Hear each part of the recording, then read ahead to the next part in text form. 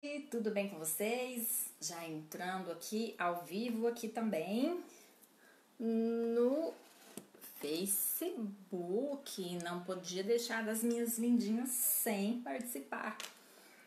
Também. Então vamos lá. Boa noite, sejam muito bem-vindas a essa aula grátis falando sobre vários temas relacionados à ginástica do períneo. Para quem ainda não me conhece, eu sou a doutora Agatha Arber, da Ginecologia Quântica e presidente também da Abra Pompoar, que é a Associação Brasileira de Pompoarismo e Ginásticas do Períneo. Por isso, a ideia da semana é justamente essa: falar sobre o que vem a ser então pompoarismo e o que vem a ser essas outras ginásticas do períneo. Para quem não sabe, né? Também sou escritora, além de. Ah, que voltou. Além de sexóloga, já estou há 20 anos no mercado também. Tenho três livros físicos e tenho vários outros livros também online, todos disponíveis no site da Amazon e da Livraria Saraiva também, na versão digital, ok? Inclusive, hoje eu vou dar exercícios que estão aqui nesse do pompoarismo, ok? Então, vamos lá. Começando, o que vem então a ser o pompoarismo, que são essas ginásticas do períneo, e o que é também a perinoplastia sem corte, o rejuvenescimento vaginal, que é o título do meu mais novo livro, né? O último livro disponível no site da Amazon. Então, olha só, há 24 anos atrás, quando eu conheci os exercícios pélvicos, na realidade eles nem tinham essa divulgação tão forte como tem hoje do nome de pompoarismo. As pessoas que trabalhavam na época geralmente eram os ginecologistas, porque também a fisioterapia pélvica há 24 anos atrás ela não era esse boom aí como a gente tem hoje, né? Hoje em dia qualquer fisioterapeuta que se forma aí é, só estuda a matéria de fisioterapia uroginecológica, né? Um período ou dois períodos, dependendo da atendendo.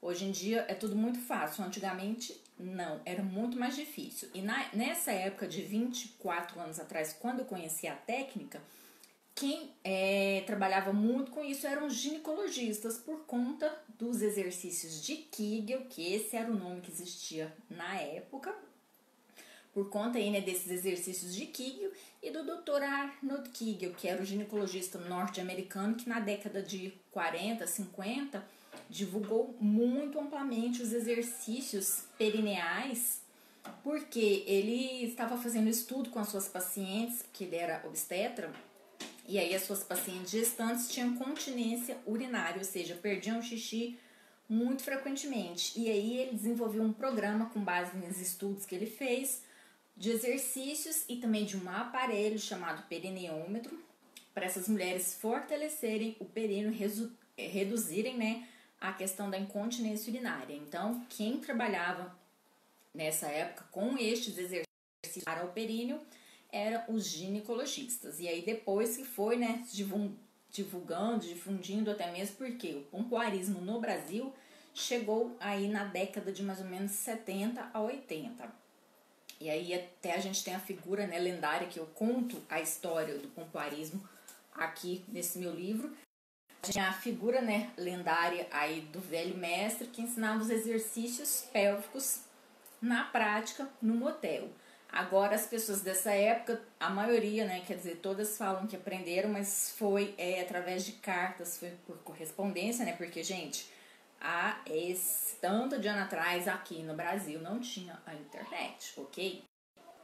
Então, nessa época que eu conheci, eram exercícios de Kegel e o foco era saúde da mulher, ou seja, questões de incontinência urinária. No meu caso era esse, porque eu tinha 15 anos, eu tinha acabado né, de ganhar bebê, eu tive filho com 15 anos, e aí eu tinha incontinência urinária, porque além de ser muito nova, o períneo ser muito fraco, né, muito novo, eu também fiquei muito gorda, eu engordei só 40 quilos. Então eu sofri de incontinência urinária. E aí, depois que meu filho nasceu, né? Eu ainda com 15 anos, tinha 20 dias que eu tinha feito 15 anos, eu brinco, né? Falo que foi meu presente de 15 anos.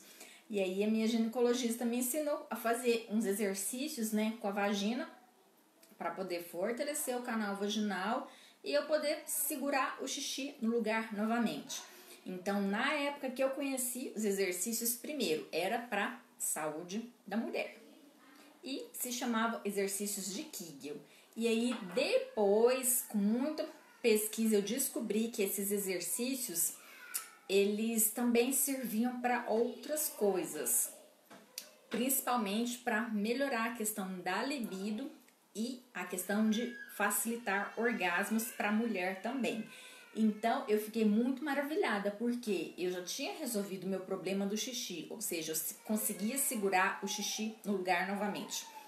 Porém, eu não tinha prazer na hora da relação sexual, eu não tinha orgasmo. Gente, eu não fazia a mínima ideia do que querer esse tal desse orgasmo. E aí eu ficava muito frustrada, porque eu me achava uma pessoa, uma mulher, né, totalmente frígida. Eu já não tinha autoestima, eu ainda estava gorda, eu me achava muito feia, um balão, sabe? Aquela coisa muito esquisita. E tava aí, né, recém conseguindo segurar o xixi na calcinha novamente, porque isso também prejudicava ainda mais a minha autoestima como mulher. Quem sofre dos problemas aí de perda de xixi sabe muito bem do que, que eu tô falando. E eu também entendo vocês muito bem porque eu já passei por tudo isso que vocês passam até hoje. Então, quando aparece uma pessoa querendo fazer os exercícios por conta aí da saúde, da continência urinária, porque quer voltar a segurar o xixi, eu entendo muito bem porque eu também já passei por tudo isso que as mulheres passam, né? Principalmente chegando aí no período da pós-parto ou no período também da menopausa. Então, quando eu conheci, era saúde da mulher, né? Questões de continência urinária e a questão também de ter esse outro nome, de exercícios de Kegel, era pouco divulgado, quem trabalhava na época com isso, há 24 anos atrás, eram na sua maioria os ginecologistas e poucos psicólogos também que trabalhavam com sexualidade. Então, era uma coisa muito restrita. E aí, quando eu descobri que exercícios semelhantes que tinham o nome de pompoarismo serviam para resolver meus problemas aí de então eu fiquei muito feliz porque no livro que eu tinha lido prometiam né, que se a gente fizesse todo dia os exercícios, os, viu? Já tô falando aqui o segredo para vocês. Eu vou contar aqui várias coisinhas, vários segredos das técnicas, independente do que seja, né? Se é pompoarismo, se é ginástica do períneo, se é perinoplastia sem corte, se é outra coisa. Se é vaginoterapia também, muita gente me pergunta. E aí, contar vários segredos e o principal segredo é esse, prática diária, porque é igual na academia, é igual musculação. Se pratica, fortalece períneo e tem todos os benefícios que a gente conhece hoje. Se não pratica, não fortalece o períneo, gente. É igual na academia. É igual na academia. E tem algumas técnicas, sim, que a gente potencializa os exercícios pela a nossa atitude mental, uma atitude mental positiva. Com, é, tem exercícios também de programação neurolinguística, tudo isso facilita o desenvolvimento, esse fortalecimento muscular. Porém, temos que ter prática constante, ok? Então, nesse livro que eu li, prometi que se a gente praticasse os exercícios todos os dias, a gente conseguiria ter prazer na hora da relação sexual e chegar ao orgasmo também em muito pouco tempo. E aí é claro que eu fiz os exercícios, porque se eu me achava uma pessoa, uma mulher frígida, que eu não tinha prazer na hora da relação sexual, eu não gostava de transar. Por quê? Porque eu não sentia nada. E quando eu sentia era dor na hora da relação sexual. Agora imagina, não sentir, não ter orgasmo é uma coisa. Agora ter dor na hora da relação sexual é uma coisa totalmente diferente. Então eu entendo também as mulheres que falam, né? Ai, doutora Agatha, mas eu não gosto nem de transar porque eu tenho muita dor na hora da relação sexual e eu não consigo ter orgasmo. Gente, não vai ter orgasmo nunca enquanto não primeiro solucionar os problemas de dor na hora da relação sexual, ok? Porque é impossível a gente chegar lá no orgasmo, que é o último nível, né? A última coisa que passa durante a resposta sexual é impossível a gente chegar no orgasmo se a gente está lá com dor, se a gente está com desconforto.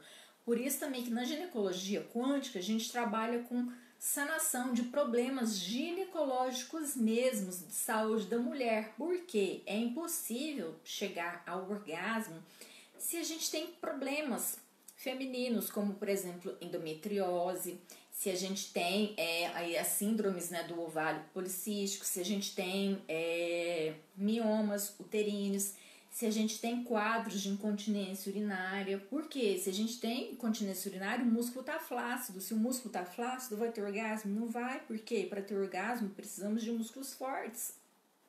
Então, se a gente tem problemas, é, tensão pélvica crônica, mulheres que sofrem muito com cólicas menstruais, então, se a gente tem esses problemas femininos, se a gente tem esses problemas ginecológicos, a gente tem que primeiro sarar esses problemas para depois a gente pensar em ter uma sexualidade saudável.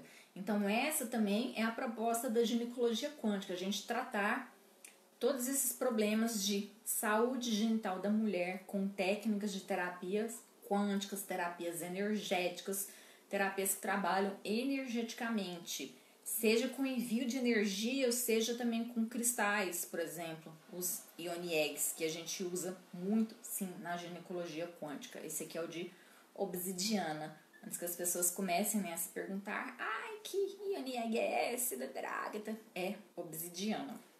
Esse aqui que me curou da endometriose. Porque também o pompoarismo ele não cura tudo. As pessoas elas vendem como se o pompoarismo fosse aí, né, uma caixa de milagres e curasse tudo quanto é coisa. Não, gente, o pompoarismo não cura tudo.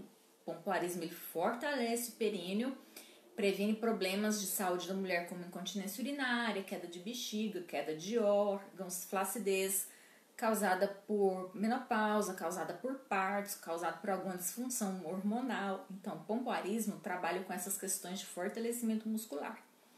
Que aí é uma diferença que a gente faz Uai, internet aqui, vamos lá, né, querida? Colabore. Voltou. Então, se a gente tem esses problemas, a gente tem que tratar com técnicas da ginecologia quântica, que aí são trabalhos terapêuticos baseados em técnicas energéticas, ok? Então, essas são algumas das diferenças, porque muita gente confunde tudo aí fica perguntando, né? Nossa, mas o que, que é isso? Ou se não, por exemplo, se matricula no curso de pompoarismo achando que vai ter o trabalho da, dos Ioniegs, que é da vaginoterapia. Então, são coisas diferentes. Então, vamos lá, começando aqui algumas diferenciações para vocês entenderem, até mesmo porque na hora de fazer os exercícios que eu vou passar, que estão aqui no livro, para vocês saberem né, o que, que vocês estão fazendo também aí direitinho. Então, vamos lá. Pompoarismo ele vai trabalhar com fortalecimento pélvico, fortalecimento genital, fortalecimento dos músculos vaginais, fortalecimento dos músculos do períneo. Por isso que tem vários nomes, né? Ginástica íntima, ginástica do assoalho pélvico, tudo porque fortalece esses músculos vaginais. A gente tem vários músculos vaginais, não é só o músculo pubicocígeo, porque muita gente só fica presa aí né, nessa contração do músculo PC. Tem que contrair o músculo PC, tem que contrair o músculo PC e esquecem os outros 12 músculos que a gente tem, tanto superficiais quanto profundos, aí no nosso assoalho pélvico. Gente, no curso de capacitação é, e certificação que eu dou de pompoarismo, para quem quer ser coaching de pompoarismo, as alunas elas comem anatomia, porque tem que aprender todos esses músculos que na vagina tem, os músculos superficiais, os músculos profundos, para poder saber fazer as contrações corretas e para poder também aprender da aula de pompoarismo direito. OK? Então, o que eu falei para vocês, né? A gente tem que saber fortalecer todos esses músculos aqui para a gente poder ter um treinamento realmente eficaz, realmente efetivo. E sobre isso vai ser o exercício que eu vou passar também, porque nossa, todos os dias eu recebo um monte de depoimento assim muito triste, falando: "Nossa, mas eu já comprei todos os cursos de pompoarismo, eu já fiz aula com fulano, com fulano, com cicrana, já fiz aula até com fisioterapia particular aqui na minha cidade e eu não aprendo isso. Eu quero saber por que, que seu trabalho é diferente, por que, que seu curso é diferente, por que, que vai realmente me ajudar, porque realmente eu acho que o pompoarismo é uma mentira. E olha só, quando eu escuto isso, eu fico muito triste, porque porque, gente, pompoarismo é uma técnica tão linda. Eu tenho depoimentos das minhas alunas que estão comigo cada um mais lindo que o outro. E quem me conhece sabe, né, que eu sou da linguagem do amor, de palavras de afirmação, então eu gosto muito de receber os depoimentos dos progressos, mesmo que sejam progressos assim pequenininhos. De, por exemplo, eu não sentia nada, agora eu já consigo sentir é, o aumento da minha libido. Tá vendo? Assim, são coisas pequenininhas. A pessoa nem chegou lá no orgasmo cósmico, porém ela já sentiu que o negócio começou a esquentar. Então, quando as pessoas mandam esses depoimentos, eu fico muito feliz. E aí, eu fico triste quando as pessoas falam, né, até mal das outras profissionais e falam mal do pompoarismo, dizendo que ele não funciona por conta de exercício errado, por conta de músculo errado. Como eu estava falando, a gente tem 13 músculos vaginais. Se eu fico presa em contrair só o músculo PC, gente, o que, que eu faço com os outros músculos? Aí o pompoarismo não vai funcionar mesmo, não vai funcionar Nunca. Então a gente precisa trabalhar toda essa musculatura superficial e profunda, que foi aquela que eu mostrei para vocês aqui.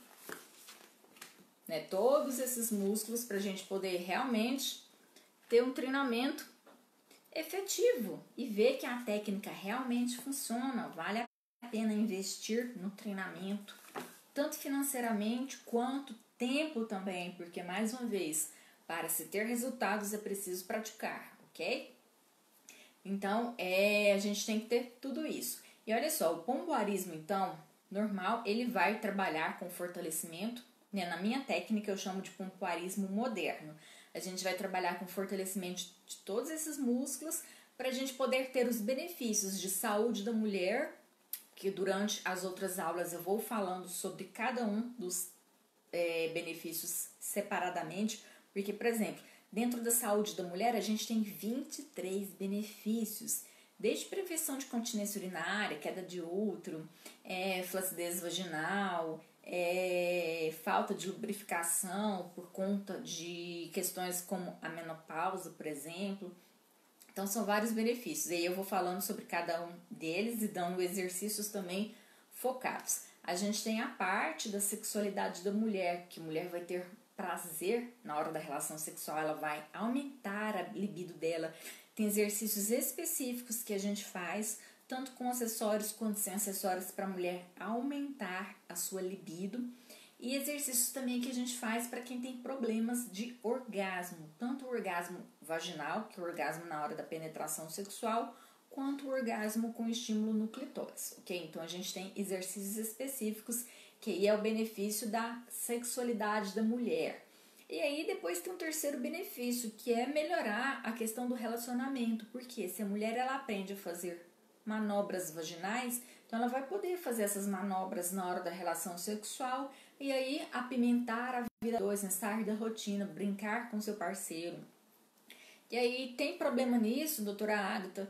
Não tem, gente. Cada um faz o que quiser com a técnica. Eu só fico muito triste quando chega também uma pessoa que fala assim: ah, eu quero aprender pompariz porque eu quero enlouquecer o meu homem na cama, quero segurar ele, quero amarrar ele, quero não sei o que. Ou eu vou sair com um ricaço aí, com um milionário, eu quero segurar esse homem pro resto da minha vida. Eu fico triste, mas é a, a vontade da pessoa, então ela faz com a técnica o que ela quiser.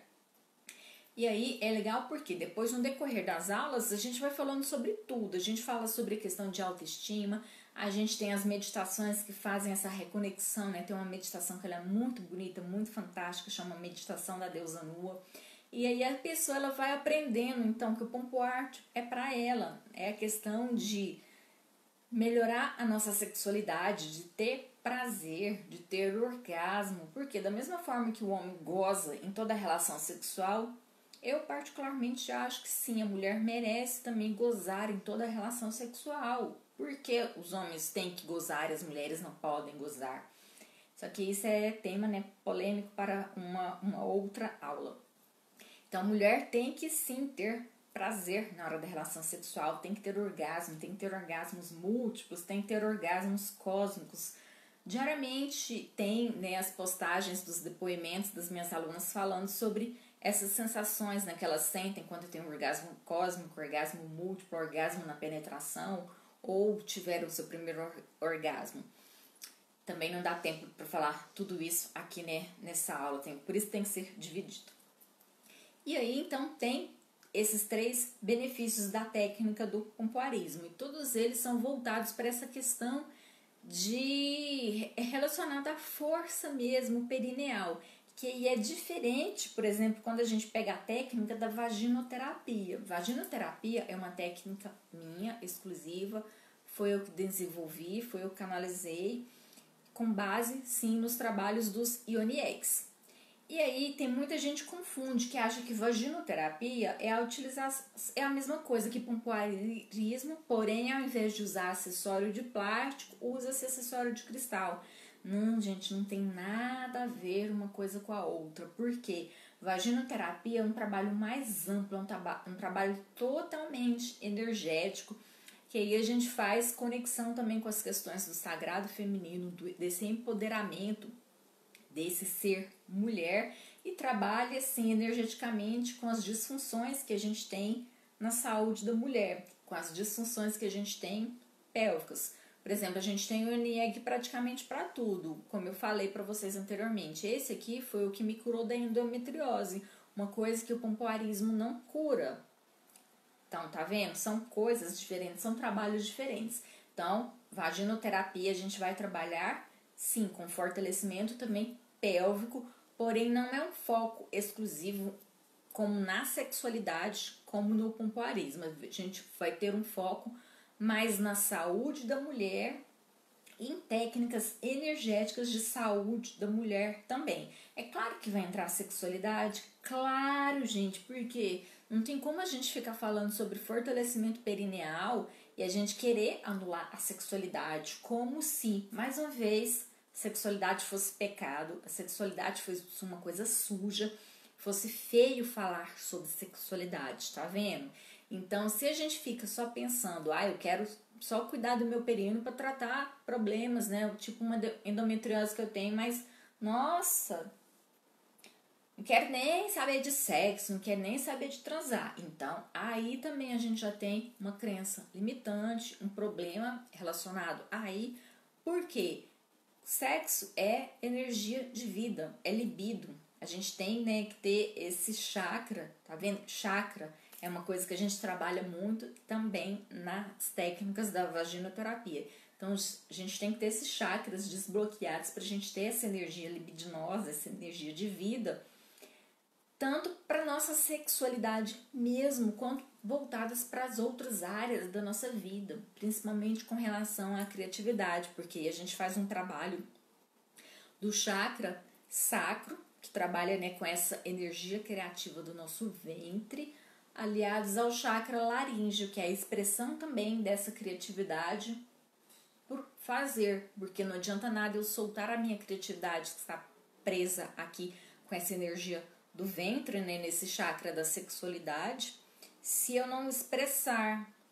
Por isso tem pessoas que elas têm aquele monte de ideias, né, mas nunca colocam nada em prática, porque aí falta fazer esse alinhamento. Então, na vaginoterapia, que é uma técnica energética, a gente trabalha muito com essas questões dos chakras, da chacroterapia, aliados aos Ioniegs para fazer todo esse desbloqueio, tá vendo? Então, tem exercícios energéticos que são diferentes do pombarismo, porém, tem fortalecimento perineal também tem, porém tem técnicas energéticas que são exclusivas dessa técnica da vaginoterapia e só se utiliza os acessórios de cristal, nada de plástico. Tanto é que o colar tailandês também, ele é de...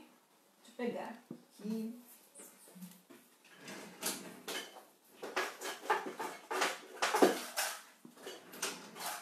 Ele é de pedra semi-preciosa também. Tá vendo? Todos os acessórios da vaginoterapia são de pedras semi-preciosa. Colar tailandês de pedra semi-preciosa. E aí tem os ioni eggs que entram no lugar dos antigos cones de plástico. Tem a BUA também de cristal e o bastão que entra no lugar do vibrador. Então são todos acessórios de plástico, ok?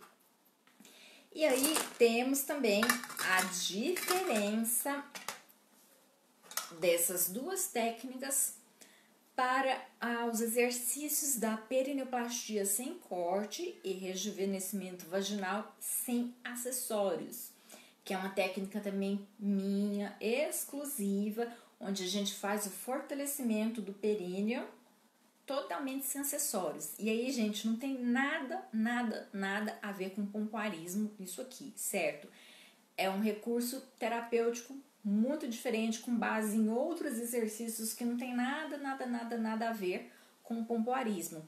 Inclusive, a gente faz também trabalhos mentais baseados na cinesiologia. Tem estudos né, que mostram a, que a força muscular depende também da força do pensamento e dos sentimentos que a gente tem no momento de praticar os exercícios.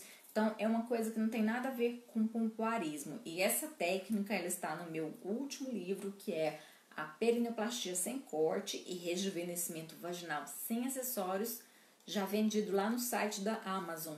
No Instagram tem ah, o link, né? Que aí vocês podem entrar lá. Quem tem aquele assinatura da Amazon aí consegue também ler o livro gratuitamente, ok?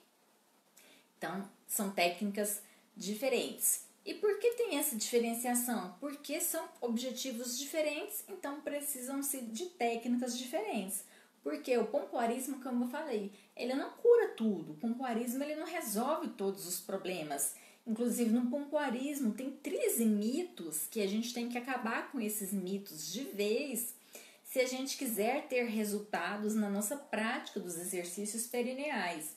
E aí, quando as pessoas chegam, né, falando sobre. É, não, já fizeram todos os cursos de pompoarismo, leram todos os livros e não tiveram resultado, e aí logo eu sei. Ou também, né, a pessoa compra o curso e nunca pratica nada, porque também isso acontece. Da mesma forma que tem pessoas que pagam, né, planos lá na academia, pagam a mensalidade, compra até o plano anual porém nunca vai para academia, ou se realmente chega a ir na academia, só fica fofocando, não faz exercício nenhum, então períneo é a mesma coisa. Se pratica, fortalece, se não pratica, não fortalece. Ou a pessoa ela caiu em um dos 13 mitos do pompoarismo. E aí, se ela cai em um desses 13 mitos, com certeza ela não vai fortalecer o períneo de forma nenhuma. Porque tem mitos que eles são assim até que mais ou menos dá para a pessoa conseguir aprender o pompoarismo mesmo sendo vítima desses mitos.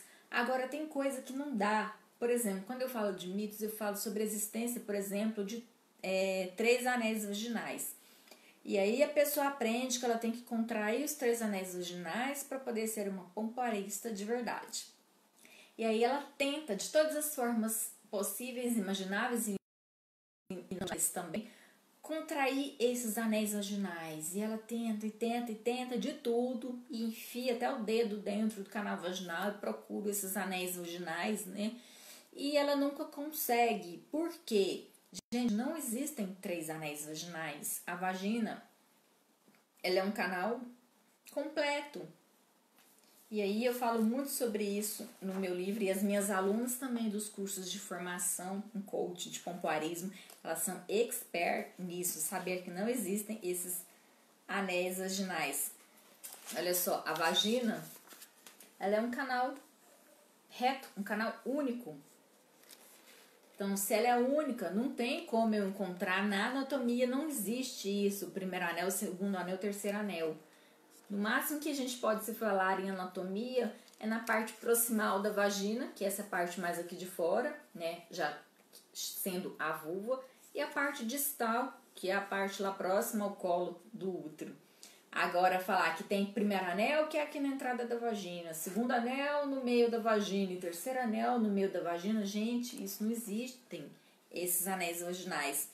Então aí as pessoas elas ficam, né? Pode ser o seu caso, que você fique procurando aí contrair primeiro anel, depois segundo anel, depois terceiro anel e não consegue contrair nada porque isso não existe e você acha inclusive que a culpa é sua, como eu achava que a culpa era minha. Gente, pensa, eu achava que eu era uma mulher totalmente frígida porque eu não sentia nada. Aí eu descubro que eu tenho que contrair primeiro anel, segundo anel, terceiro anel da vagina. E aí eu tento de todas as formas possíveis contrair a minha vagina nesses três anéis e não consigo. O que, que eu vou achar? Que o problema é meu, que eu sou mais relaxada ainda do que eu pensava. E aí um dia eu fui chorando pro meu ginecologista, né? Doutor, fulano de tal, né? Nossa, eu não tenho, eu não tenho solução, né? Porque eu sou totalmente flácida, eu sou frouxa, eu sou relaxada, arregaçada, né? Eu não presto pra nada na cama, o que é que eu vou fazer da minha vida? E aí eu fui explicar para ele, né, que eu queria encontrar esses tais desses anéis vaginais. Gente, ele começou a rir e eu não entendi nada. E aí ele foi, né, explicar que as pessoas da área da saúde, né, os médicos e muitos psicólogos também, eles não gostam é, desse, desse termo, estudos do pompoarismo, porque tem um monte de bobeira que as pessoas não estudam, saem divulgando esse monte de coisa errada, né? E aí só causa mais desespero, confusão na mente das pessoas normais que estão aí tentando aprender o pompoarismo e fortalecer os seus canais vaginais. E aí, né, eu fiquei muito aliviada, porque, gente, ele teve que pegar um atlas de anatomia e me mostrar que não tinha anel vaginal, não existia isso. Então eu tinha que parar com essa bobeira de querer encontrar esses taus desses três anéis do pompoarismo e me contentar com fortalecer o canal vaginal como um todo, porque é, como eu falei para vocês, tem os músculos superficiais e os músculos profundos. Eu preciso fortalecer todos eles. Vou mostrar aqui mais uma vez para vocês. Quem tem o livro é na página 97, livro do pompoarismo, gente? Que aí tem os músculos superficiais, tá vendo? E os músculos profundos. E a gente tem que fortalecer esse canal vaginal como um todo, porque quando a gente fortalece o canal vaginal como um todo, aí sim a gente consegue ter resultados com os exercícios, independente da técnica que seja, porque de todas as técnicas que eu trabalho seja no pompoarismo, que seja nas ginásticas do períneo, que seja na vaginoterapia, que seja na perineoplastia sem corte, gente, todas elas a gente precisa fortalecer todos os músculos do períneo, porque o trabalho vai ser no períneo. Então, a gente tem que fortalecer. E aí muitas pessoas falam, né, mas doutora Agatha, então como é que eu faço para fortalecer o períneo? E aí é onde a gente chega no grande pulo do gato, como diz dizia né, o meu antigo professor de Tantra. A gente chega então no pulo do gato, porque o grande segredo de qualquer técnica. Oi, amiga Mirna, preciso falar com a senhorita depois. Tô vendo aqui, eu lembrei. Depois a gente conversa, muita coisa legal acontecendo. E aí então, é, esse é o grande segredo, independente da técnica que seja é você saber o que você vai contrair, é você encontrar os seus músculos pélvicos para você poder fortalecer. Gente, eu digo isso porque eu atendo mulheres diariamente que elas me falam que elas contraem horrores o músculo, né, do períneo, só que elas não têm força. O parceiro não sente na hora da relação sexual. E aí elas ficam muito tristes. E aí eu me lembro sempre de, até tem a citação aqui no livro. Os autores do livro Ponto G, na década de 70, eles já falavam isso que acontece. que as mulheres elas contraem, as mulheres aqui né, do ocidente, que somos nós, mulheres modernas, geralmente sedentárias, por isso que a gente tem mais dificuldade com os exercícios pélvicos. Então as mulheres elas contraem tudo, tudo, tudo, tudo, tudo quando eu falo é todo um músculo aqui que a gente tem né, no nosso abdômen, todos os nossos músculos até da coxa, do bumbum, nosso glúteo, menos o períneo, menos os músculos perineais. Então, por isso que eu falo, o segredo é você aprender a contrair o períneo, aprender a contrair a vagina para depois, sim, a gente pensar em fortalecer, para depois a gente pensar em usar acessório. Porque até mesmo um acessório, se eu não sei contrair a minha vagina e eu coloco um acessório, eu vou fazer mal pro meu períneo, eu vou sobrecarregar isso. Por quê? Tem exercício que a gente coloca o acessório e tem que fazer a movimentação de acordo com o que é ensinado no exercício. Então, se eu coloco o acessório, porém eu fico contraindo a barriga, então estou fazendo tudo errado. Então, a gente precisa perder né, tempo, entre aspas, conhecendo os nossos músculos vaginais, conhecendo o nosso períneo, para só depois a gente pensar em fortalecer. Todas as minhas alunas, elas passam, dependente do curso, se é pompoarismo, se é ginástica do períneo, se é são os exercícios da vaginoterapia ou se é a perinoplastia sem corte. Independente da técnica que, que seja, elas têm os exercícios prim, primeiro, para o primeiro dia de curso. E para quem não consegue encontrar os músculos vaginais no primeiro dia de curso, aí elas vão repetir os exercícios durante a primeira semana inteira. Porque é impossível a gente fortalecer se a gente não está fortalecendo o períneo. É impossível a gente pensar, né, em usar cone ou em usar é, ioni em fazer qualquer coisa se a gente não sabe o que é períneo, se a gente não sabe o que é vagina. E quando eu falo isso, é, tem gente que olha só o nível da inconsciência. Quando as mulheres vão no banheiro, faz xixi e cocô ao mesmo tempo, porque não consegue segurar e fazer só o xixi e fazer só o cocô ou fazer só o xixi e não soltar pum enquanto está fazendo isso. São funções diferentes, então a gente tem que fazer separadamente. E aí quando a pessoa ela não consegue fazer isso, é sinal de que o perino já está ficando flácido, entendem? Então quando eu falo que tem que contrair só o períneo, a gente deixa as outras coisas, por exemplo, vou contrair a vagina, mas não contrai o ânus nesse momento. E vou contrair a vagina sem ficar lá, né? contraindo a barriga, contraindo tudo. Tem mulher que faz tanta força que a gente vê que põe força até aqui, né, no, maxilar, aqui na TM. Faz assim, né, para querer fortalecer, contrair o períneo. Porém, não dá conta. Põe força aqui na garganta. Eu falei para vocês que o chakra laríngeo tá ligado com o chakra da sexualidade, né? Então, contrai aqui também pondo força nessa tentativa de estar lá contraindo sua vagina e contrai tudo, né? Contrai aqui a, essa articulação, aí contrai a garganta, põe força na barriga, contrai o bumbum inteiro e aí o perino que é né, o que tinha que ser contraído, a vagina que tinha que ser contraída não contrai. Aí depois reclama, mas eu contraio até, o meu parceiro não fala nada, ele não fala, não comenta, não elogia, porque não tá sentindo, criatura. E aí tem muita mulher, né, que por exemplo vai fazer o curso, aí na primeira aula tem anatomia. Por quê? Tem que conhecer a vagina, tem que conhecer a vulva. Aí fica assim, nossa, mas para que que eu vou, né, ficar vendo essas fotos aqui de buceta pelada, eu já sei a minha, não sei e tal. Aí eu pergunto, você consegue fazer xixi e cocô separadamente? Não, nunca nem. Para que fazer isso? Faz lá, é tudo junto, né? Tô com pressa, lá espreme, tudo de uma vez. Então, criatura, não, se não dá conta, é porque tá fazendo errado. Então, olha só. E tem mulheres que, por exemplo, não sabem nem que a gente tem três buraquinhos diferentes. Acha que o xixi sai pelo mesmo buraquinho que sai a menstruação, que é o mesmo buraquinho né, do parto, que é o mesmo buraquinho da. É da menstruação, falei.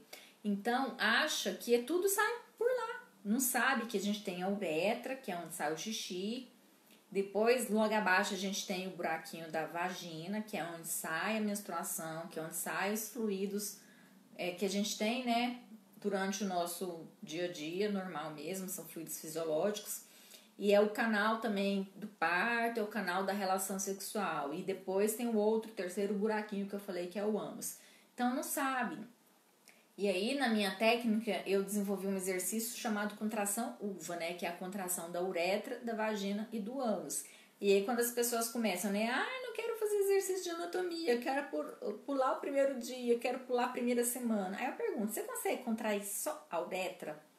Sem mexer a vagina e sem mexer o ânus, tá vendo, gente? O exercício fica sendo muito minucioso. Não, doutora Agatha, não consigo. Então, vamos fazer os exercícios de autoconhecimento, que é o que eu vou passar aqui para vocês hoje, daqui a pouquinho.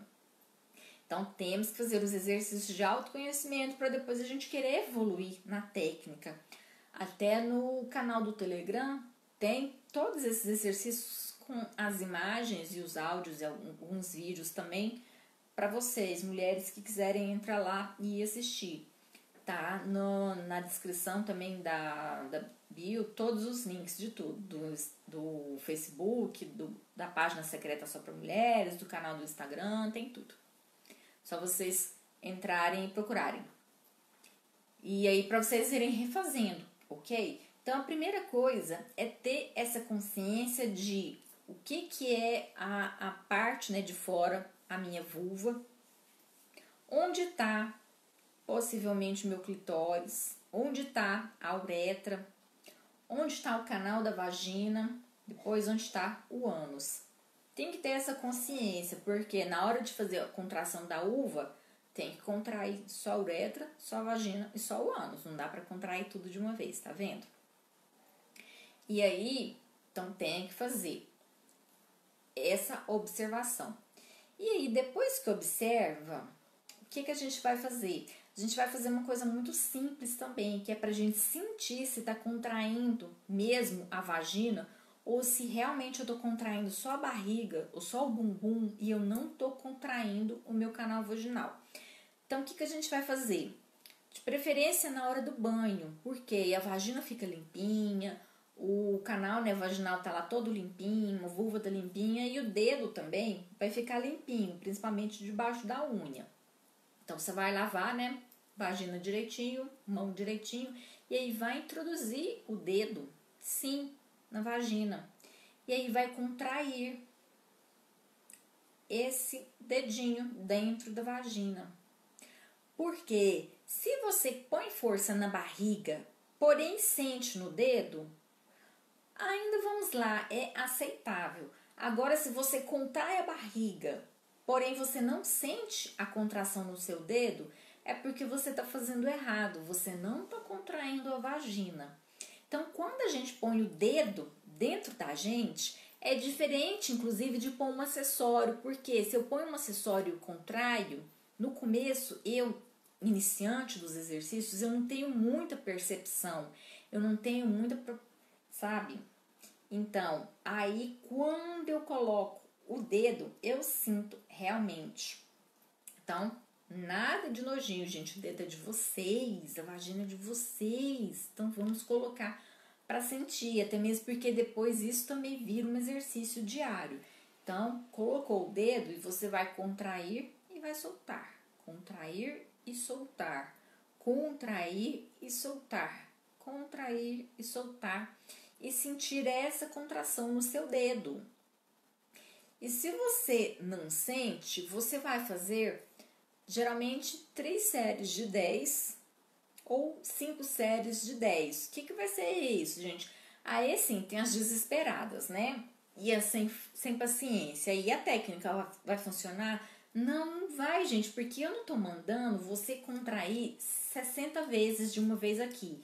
Eu não estou pedindo para você contrair 50 vezes ai de uma vez. O que, que eu tô falando? Eu tô falando para você contrair três séries de 10 ou cinco séries de 10. Então, de criatura, como é que vai ser isso? Você vai fazer uma, solta, duas, solta, três, solta, oito, solta, nove, solta, dez, solta, descansa, 30 segundos. Gente, o tempo de descanso, ele é tão importante e alguns autores dizem que é até mais importante do que o período da contração. Por isso que não adianta você ter pressa na hora de fazer os exercícios. Tem que tirar um tempo exclusivo para a prática diária dos exercícios. Porque, gente, eu não estou mandando fazer 50 contrações. Eu estou falando, faz 10 contrações, descansa. Faz mais 10, descansa. Faz mais 10, descansa. Entendem? É diferente do que eu falar, faz 50 contrações de uma vez. Não, gente, é. Eu falo, tem muita mulher que é desesperada, que quer o resultado para ontem, e aí, ao invés de fazer, né, obedecendo essa, esse tempo, esse intervalo de descanso que o músculo precisa para poder fortalecer, aí vai fazendo os treinos tudo de uma vez. Aí depois o que, que acontece? Tem cãibra vaginal. Gente, imagina a dor de uma cãibra vaginal. Nossa, esse trem dói porque eu falo que eu já tive. Quero ter isso nunca mais. É quase pior do que uma dor de parto. Então dói muito. Então, dá cãibra vaginal, dá fadiga também, pode dar lesão. É a mesma coisa de acessório muito pesado. A gente não treina com acessório muito pesado. Por isso que eu falo, entende? A gente tem que primeiro saber se a gente está contraindo corretamente a vagina antes mesmo de partir para o uso dos acessórios. Por quê? Se eu estou fortalecendo, né, achando que eu estou fortalecendo com acessório, mas eu só consigo contrair aqui meu abdômen e o períneo não vai, então tá errado. Eu tenho que dedicar o tempo para primeiro contrair corretamente para depois eu aprender a fortalecer que aí no meu treinamento a gente entra na segunda semana essa parte de autoconhecimento, de realmente saber né, se está contraindo, se não está, de diferenciar a contração da uretra, que ela é uma contração muito sutil, muito pequenininha, da contração da vagina e também da contração do ânus. São três contrações diferentes que no meu método a gente consegue fazer e eu tenho vários depoimentos de vários alunos falando, né, que no começo do curso achavam que isso era impossível e aí depois com atenção, com concentração, com foco, com tirar um tempo para praticar os exercícios do pompoarismo, com obedecer o tempo de descanso, aí sim elas conseguiram ter essa percepção dessas contrações diferentes, entende? Então, por isso que a gente precisa fazer como eu falei, nesse exercício do dedo para vocês, vocês terem esse tempo de descanso de 30 segundos. Então vamos lá, mais uma vez. Colocou dentro o dedo, né, dentro do canal vaginal e aí vai fazer. Contrai, solta, 2, solta, 8, solta, 9, solta, 10, solta, pode até tirar o dedo. Imagina, tô lá na hora do banho, eu tô lá, tomo mais um banho, né, deu uns 30 segundos, esfrego mais lá uma parte Coloco o dedinho de novo, faço mais uma vez, mais uma série, 8, 9, 10, ok? E aí tiro, descanso 30 segundos, vou lá, né, terminando de tomar o meu banho e tudo mais, e aí vou fazendo até inteirar as três séries de 10 repetições ou as cinco séries de 10 repetições. Vai depender de cada uma. Eu, particularmente, prefiro trabalhar com as cinco séries de 10 repetições porque a gente vai ter um pouco né, mais de tempo para os exercícios, então a gente vai, acaba querendo não fortalece mais rápido, ok? Então, este é um segundo exercício de se fazer. Lembram, recapitulando aqui o primeiro exercício, a questão do autoconhecimento. Colocar um espelho aí de frente, né? A vulva de vocês e realmente perceberem onde está a minha vulva, onde está meu clitóris, meus grandes lábios, pequenos lábios, onde está a minha uretra, que é o buraquinho pequenininho onde sai o xixi, onde está o canal da vagina, que é um buraquinho um pouquinho maior por onde sai a menstruação, por onde sai o bebê, por onde saem né, os escorrimentos vaginais que são normais, por onde é, acontece a penetração e onde está o ânus. São três buraquinhos diferentes, então tem que ter essa percepção de onde está cada um. E aí, depois que tiver essa percepção, vai fazer o exercício do dedo na hora do banheiro, ok? Aqui no livro, quem tem o um livro, esse exercício que eu dei do dedo chama-se contração molhada, está aqui no livro, não é nenhum exercício novo, ok? Não se desesperem, é o exercício já velho, antigo que está até no livro. Então, fez o exercício da contração molhada e aí vai fazer, suponhamos, as cinco séries de 10. E um outro exercício também, se achar que está muito difícil sentir a contração no dedo, porque tem mulheres o que elas estão muito anestesiadas e aí elas não vão sentir a vagina por N motivos, que aí é caso né, de atendimento terapêutico mesmo. Então, tem mulheres que elas estão com o músculo muito tenso e aí elas também não vão sentir esse mexer vaginal. Então, a gente também tem que trabalhar outras técnicas para a gente destravar, soltar e alongar esse períneo. Tem mulheres que elas não vão sentir por conta mesmo do afrouxamento vaginal, ok? Então, se você acha que você está em alguma das situações que você não sentiu o seu dedo quando você foi contrair a vagina nesse exercício da contração molhada, o que, que você vai fazer? Você vai fazer um teste, que na fisioterapia a gente chama de pet teste. O seguinte, você vai fazer xixi. Quando você começar a fazer o seu xixi, você vai contrair, segurar 5 segundos. 1, 2, 3, 4, 5. Depois você vai soltar, soltar, soltar e fazer todo o seu xixi. Ok, gente? Vocês entenderam? Que vai soltar e vai fazer o xixi todo depois. É para fazer essa contração só uma vez. Porque quando você contrai e segura o xixi, você teve a percepção do que é contrair o períneo. E aí depois vai ficar fácil de você introduzir o dedo no canal vaginal e fazer a contração molhada que eu acabei de ensinar para vocês, ok? Agora tem pessoas que acham que isso é exercício diário, que também isso é um dos erros do pompoarismo. E aí ficou contraindo isso o dia inteiro. Toda hora que vai no banheiro faz xixi, fica lá brincando, aí contrai, solta, contrai, solta. Gente, não faz isso, isso dá infecção de urina. Eu já atendi mulheres que tinham 5 anos de infecção de urina, remédio nenhum corta, porque tomava remédio, sarava, aí depois parava de tomar o remédio e continuava segurando o xixi, lá contraindo, brincando de fazer pompoarismo, e aí a infecção de urina voltava, ok? Então não façam isso. E aí, da mesma forma que eu falo, né, que tem as pompoaristas do semáforo, tem as pompoaristas do banheiro, que só faz exercício de pompoarismo na hora que vai fazer xixi. E aí vai ter resultado? Não, gente, não vai de jeito nenhum, ok? Então, olha só, passei o exercício para vocês do, do autoconhecimento com espelho, passei o exercício para vocês da contração molhada, cinco séries de 10 e falei que quem não conseguisse de jeito nenhum sentir a contração molhada ia fazer um teste do xixi, um e único, exclusivamente, absoluto, único. Não é para ficar brincando de ser pompoarista de banheiro, ok? Expliquei as diferenças também entre as técnicas do pompoarismo, que ele não é aquela coisa milagrosa que cura tudo, porque tem problemas como a endometriose que não cura quem vai curar isso são outras técnicas energéticas, por exemplo, que é o caso da vaginoterapia. Expliquei também para vocês a diferença entre essas duas técnicas de pompoarismo, de vaginoterapia, perinoplastia sem corte. Ainda falei um pouquinho da ginecologia quântica, que entra né, na questão mesmo de saúde da mulher, trabalhando com técnicas energéticas, ok? E espero então que vocês pratiquem direitinho o exercício e depois me contem se deram conta de sentir o dedinho mexendo dentro do canal vaginal de vocês, ok?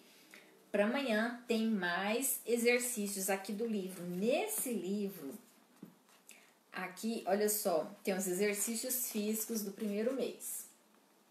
Exercícios físicos do primeiro mês. São 28 exercícios. Durante essas aulas grátis, a gente vai fazer vários exercícios que estão todos aqui no livro, ok? De hoje, de 28 exercícios, a gente já fez três exercícios daqui. Lembrando que essa localização muscular, mais uma vez, ela é primordial, ela é o segredo de qualquer técnica de fortalecimento vaginal. Não adianta você querer aprender a fazer contração, por exemplo, é, contração sanduíche, que todo mundo tem uns depoimentos falando né, super bem dela.